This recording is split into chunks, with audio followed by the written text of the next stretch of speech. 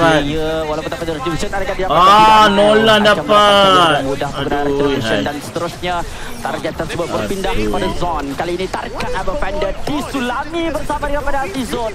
Sempat berangkat dan survive memberikan triple kill kepada Marki. Ini satu keadaan yang cukup menggugat pasukan Homeboys. Mereka ketinggalan yang cukup banyak bersama dengan lot yang tengah ada di bahagian mid lane ini. Takkanlah lot satu budak kalah. Homeboys.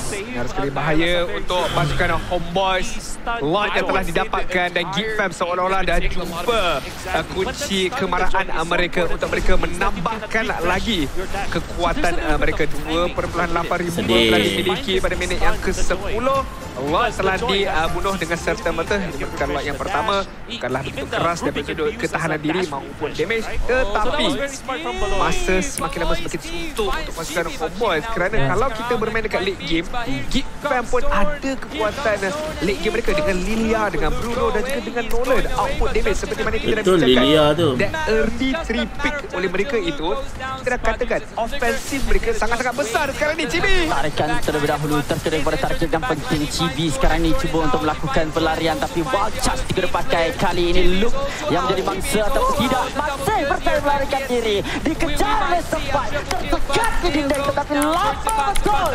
Dia nak mati. Homeboys berjaya mendapatkan satu kill. Pada sebelah juga dipakai terlebih dahulu. Nile masuk di bahagian tepi. Pada waktu Zon aman, diperangkap dan mega kill. Untuk Nile terlebih dahulu. Dan full beras digunakan. Tak pasti tangkap siapa namun Chibi dikorbankan juga. Buat karya kedua ketiga sekarang di Raza Ya Allah, Tuanku. Astaghfirullahaladzim. namun Marki masih lagi menendang bola dan ketinggalan hanyalah Warlord di bahagian bottom lane. Mampu ke tidak dia nak melarikan diri sekarang ini akan ya ditarik oleh Allah, Balowski Tuanku. akan ditendang oleh Marquis satu lagi hit La ilaha illallah. flicker. namun tidak mampu untuk menyelamatkan Aduh. nyawanya